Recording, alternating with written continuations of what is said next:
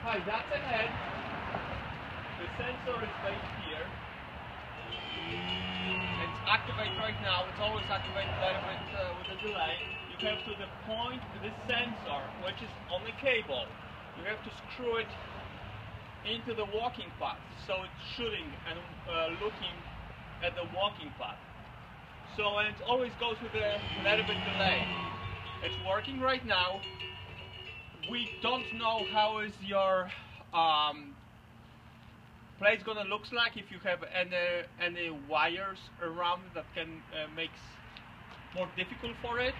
So additionally, we can send you different motion sensor that um, can override these existing ones, or also additionally, we can send you a remote control trigger by remote uh, by remote control. So uh, uh, you can have this as an option. But like you see right now, with the motion over here, it's, it's working. Right. Thank you.